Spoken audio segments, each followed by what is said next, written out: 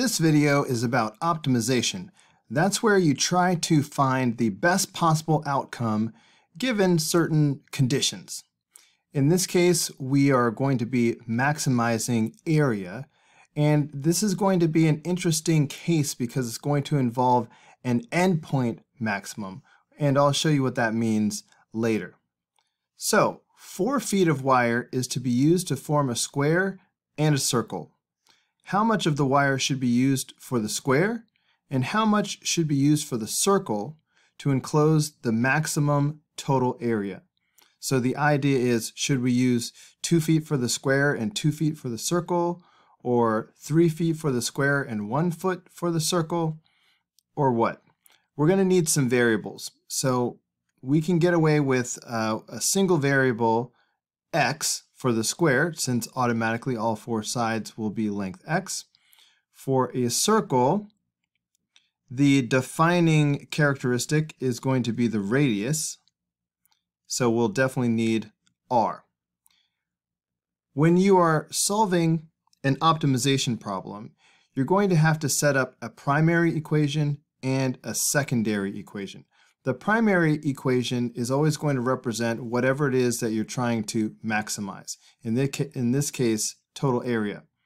The secondary equation will reflect some other condition that uh, you're being forced to deal with. So let's start with the primary equation. We need an equation for the total area enclosed by both of these shapes. So just for fun, I'm going to put in this extra step and I'm just going to put square to represent the area of the square plus circle to represent the area of the circle. So the area of the square will just be x squared because, you know, base times height. The area of the circle, of course, is pi r squared. So this is the primary equation. Now for the secondary equation. What else do we know that we haven't used yet? Okay, well the very first word of this problem, four feet. Four feet of wire is to be used. So that means the total perimeter of the square and circumference of the circle added together, that has to add up to four. So uh, the perimeter of the square, we're looking at 4x. And then the circumference of the circle. Well, the formula for circumference is 2 pi r. So those two boundaries should equal 4. So if you look at the primary equation, notice that right now we have two variables. We have x and r. We need to use the secondary equation to form, uh, you know, get one variable by itself that you can then substitute into the primary equation so that you end up with a single variable. Let's get r by itself so we can do that substitution. Subtracting 4x from both sides, actually, let's divide everything by 2 first. So this will be 2x plus pi r is equal to 2. Now, subtracting 2x from both sides, we have pi r is equal to 2 minus 2x. And then dividing both sides by pi, we have r is equal to 2 minus 2x over pi. I'm going to leave it like that for now. I could take out a GCF of 2, but maybe later. So now we can substitute this expression for r in the primary equation. So that's going to give us a is equal to x squared plus pi times, and here comes the 2 minus 2x over pi squared. So I'm just going to show my work here kind of step by step. Okay, let's see. So uh, I think I'll show it this way. 2 minus 2x squared. So I'm squaring the numerator.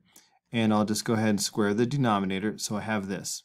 Now, uh, I'm going to have x squared plus, this pi is going to cancel out one of these pi's. And for now, I'll write 2 minus 2x times 2 minus 2x, because that's how you would square that. But I'll just have pi now. And then I will have area equals x squared plus, and if we FOIL this or double distribute, that's going to be 4 minus 8x plus 4x squared all over pi. So let's add these two expressions together. Let's make one big fraction. So that means I, am going to need to have like denominators. So if I have pi over pi, so now I have like denominators. So if I add these two fractions together, I'm going to have pi x squared uh, plus 4 minus 8x plus 4x squared all over pi. So it's a little bit strange because my like terms are 4x squared and pi x squared. If this was just a 3, I would put these together and make 7x squared. I still need to put them together, but I cannot add them directly. So instead, the best I can do is to write, um, let's see, pi plus 4 x squared. Okay, so I'm still combining these like terms, but instead of adding the pi and 4, I, all, the best I can do is to put pi plus 4. And then I still have my minus 8x and my plus 4 all over pi. So this is an expression for the area. This is the thing that I'm trying to maximize. So that means we need to find the extrema. And we know that the way to find extrema is to do the first derivative test. So let's go ahead and take the first derivative so we can get to the first derivative test. So using the power rule, I'm going to multiply this 2 times the number in front, and it's going to wind up doing a, a quick distributive property, and I will get 2 pi plus 8, all right, because I multiplied by the 2. And then this will, reducing by 1, I have x. Um, the derivative of negative 8x is minus 8. The derivative of 4 is 0, so I don't write anything there. And this is all over pi. So this is an expression um, for the derivative. So we need to find the critical value by setting the derivative equal to 0. That means we're going to set this numerator equal to 0. So we're going to have this 2 pi plus 8x minus 8 equals 0. Adding 8 to both sides, we have 2 pi plus 8 x is equal to 8. So getting x by itself, we're just going to divide both sides by 2 pi plus 8.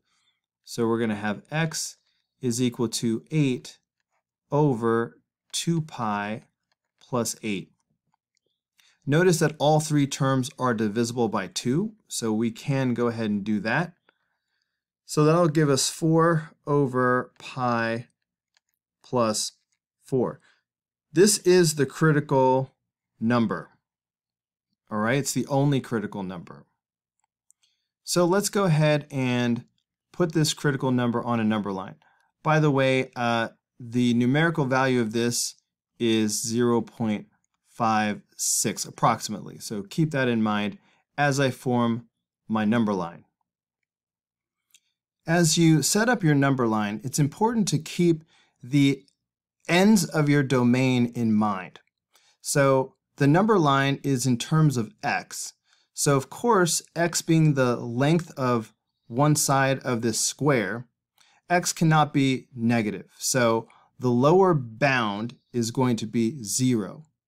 What's the upper bound going to be? So we have a square, we have a total of four feet of wire to work with. So the maximum length of X would be one, right? If we used all of the wire to make the square, then the four sides would have, have to add up to 4. So that means each side would be 1. So the maximum length of x is going to be 1. So when we set up our number line, the domain will be limited by 0 and 1. Okay, the lower bound of x and the upper bound. Now, somewhere on here we will put the critical number and I'll just, you know, just, just stick it anywhere in here. So um, this is our 4 over pi plus 4. But yeah, keep in mind that it's about 0.56. That will help us understand that a good test value to use on the left would be 1 half, because that would be 0.5, which would be less than this. And a good test value to use over here, okay, might be, I guess we could use 3 fourths.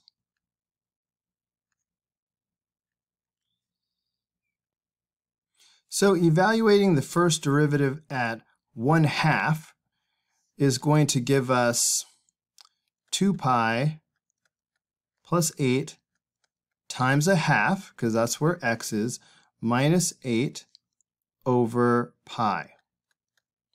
So distributing the 1 half, that's going to be pi plus 4 minus 8 over pi. So that's going to be pi minus 4 over pi, right? Because 4 minus 8 is negative 4. So remembering that pi is uh, 3.14, etc., this will definitely give us a negative number in the numerator, right? 3 point something minus 4, that's going to be a negative number. And divided by pi is still going to be a negative number. So we will definitely have a negative value in this interval, which tells us that the function is decreasing through this interval. So let's try the same thing with 3 fourths. So we will have 2 pi plus 8 times 3 fourths minus 8 over pi. Okay, so if you distribute the 3 fourths, you get 3 halves pi plus 6, and then you still have your minus 8. Um, of course, 6 minus 8 is negative 2, so that brings us to 3 over 2 pi minus 2 over 8. So um, pi by itself is 3.14, etc. Multiplying that by something bigger than 1 is going to give us uh, an even bigger number. So we have something bigger than pi, bigger than 3.14, um, minus 2. So that's going to give us a positive value. So we will have a positive value for sure in this interval, which tells us that the function is going to be increasing for this interval. So don't forget that we are trying to maximize the area. However, um, right here at the critical number, we are getting a relative min.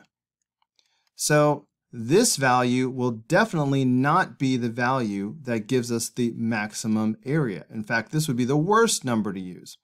That means that the maximum area will occur at one of the endpoints of the domain, either at x equals 0 or at x equals 1.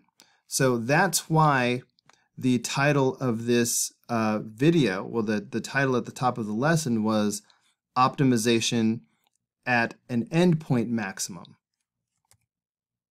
So here's our expression for area. Let's go ahead and evaluate at the first endpoint. So let's find the area at 0 which is one possible maximum. So we can do this in our head because if x is 0, um, so the first term will be 0 and the middle term will be 0. So that will simply leave us with 4 over pi. And 4 over pi, let's see, 4 divided by pi is approximately uh, 1.27. So the other possible maximum is going to be at the other endpoint where x is equal to 1. So that's going to give us pi plus 4. Um, and 1 squared is just 1, which we don't need to write down, minus 8 times 1, so just minus 8, plus 4, all over pi. So let's keep working this out. So a at 1 equals. Notice that we have 4 and another 4, so that'll be 8, and then minus 8. So the three constants cancel each other out. So that leaves us with pi over pi, which of course is equal to 1. So that means that the maximum area is 1.27, which we got when x is equal to 0. If the maximum area will occur when x is equal to 0, that means that we will use 0 feet of wire for the square, because that's what x was, and instead we will use all 4 feet for the circle. So as you do your optimization problems, always keep in mind that the ideal value may not occur at a critical number. Sometimes the ideal value will occur at one of the extremes or endpoints of the domain.